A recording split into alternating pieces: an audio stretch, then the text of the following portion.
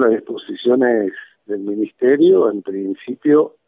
eh, estaríamos cerrando esta etapa, la información actual que tenemos el 15 de diciembre, eh, probablemente que, bueno, nos queda un mes y algo de trabajo para seguir acompañando, bueno, a nuestros estudiantes, eh, seguir trabajando virtualmente como lo hemos venido haciendo desde marzo. El ciclo lectivo tiene una, una particularidad eh, que mismo se extiende eh, hasta el 2021, incluyendo febrero-marzo. En principio esa es la información que nos han socializado desde la inspección. Y bueno, con aquellos estudiantes que han tenido una trayectoria eh, muy satisfactoria y satisfactoria, eh, estarán cerrando el 15 de diciembre, y bueno, con aquellos estudiantes que le han quedado aprendizajes pendientes, bueno, como de alguna manera, digamos, en la presencialidad hay chicos que se llevan materia a rendir, en este contexto es distinto, pero eh, bueno, se, se los sigue acompañando para que esos aprendizajes que eh, le han ido quedando pendientes en acompañamiento de sus profes puedan dar cuenta de los mismos y lográndolos, ya sea, bueno, los últimos, digamos, en diciembre, eh, la primera semana, y si no, continuaremos con ellos trabajando en febrero, todavía no está bien claro la vuelta, digamos, a la actividad en febrero, la fecha, y en marzo, digamos, ¿no? Entonces, eso es distinto a la presencialidad, pero la idea es que la escuela siga estando presente y acompañando a todos sus estudiantes para que en este contexto tan complejo logren aprendizajes fundamentales pautados para que ellos eh, puedan seguir creciendo intelectualmente. La verdad que ha sido un año muy complejo, creo que en otra nota también lo, resaltamos, el hecho de ir aprendiendo todos juntos, ¿no? Porque no solamente los docentes y los y las familias, los alumnos tuvieron que adaptarse a este sistema de no presencialidad, ¿no? Sí, la escuela se, se ha reinventado, diríamos así, ¿no? Eh, porque si bien, vuelvo a repetir, hace años que venimos trabajando con las nuevas tecnologías, con las TIC, como se llama,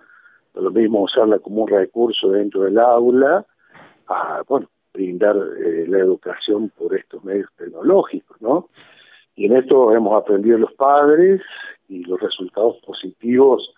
han sido posibles indudablemente gracias al esfuerzo de los estudiantes y fundamentalmente a la compañía de las familias que han jugado y desplegado un rol fundamental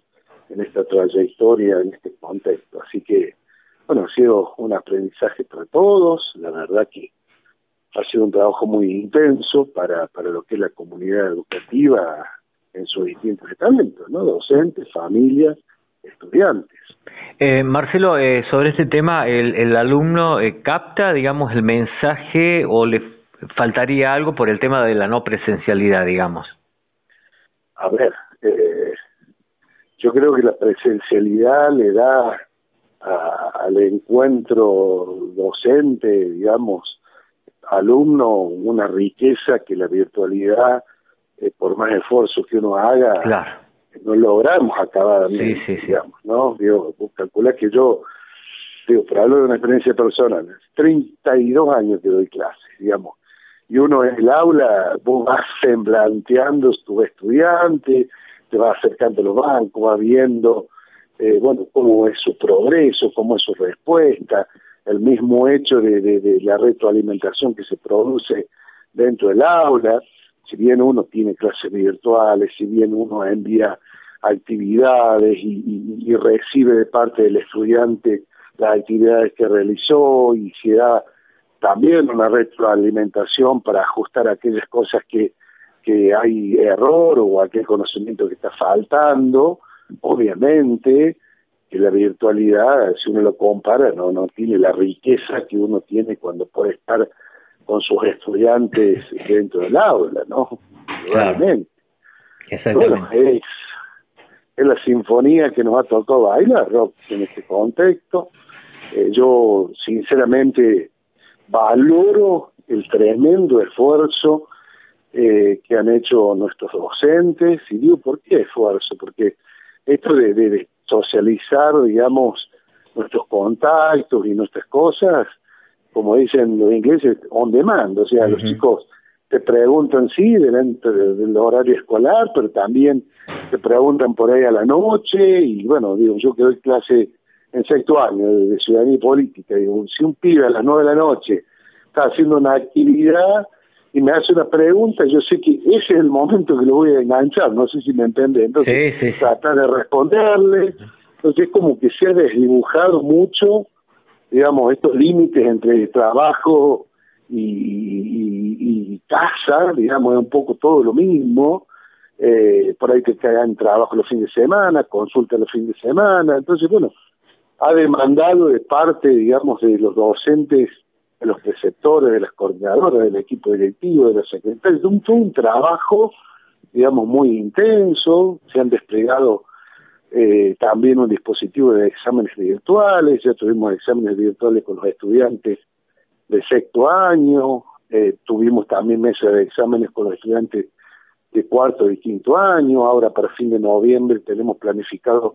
exámenes virtuales dispuestos por el Ministerio para los estudiantes de segundo y de tercero, y una nueva posibilidad para los chicos de sexto, y eso ha demandado todo un trabajo previo de acompañamiento, de más reuniones virtuales, de utilizar plataformas para ayudarlos a, a preparar estos exámenes, que por otro lado hay que decir que han sido sumamente exitosos, porque bueno, se los ha acompañado en el proceso de preparación de los mismos. Entonces, ha demandado de la escuela, por decir de alguna manera en general, bueno, una, un doble esfuerzo y en algún punto una sobrecarga laboral, pero bueno, la estamos haciendo con mucha pasión y con mucha vocación. Bueno, realmente agradecidos a la respuesta de nuestros estudiantes y al acompañamiento de las familias, ¿no? Eh, Marcelo, por último, y en un minutito porque se me va el tiempo, eh, las inscripciones. Nosotros ya realizamos la preinscripción eh, eh, de primer año, tenemos eh, 24, no, 24 eh, aspirantes para primer año para el ciclo 2021. Con respecto a la inscripción de los estudiantes que tenemos de segundo a quinto año, bueno, todavía no tenemos las precisiones del ministerio de cuándo van a ser esas inscripciones, a medida que vayamos teniendo información certera, eh, bueno, como todo esto de la virtualidad nos ha permitido armar grupos con los papás, con los chicos, estaremos socializando dicha información.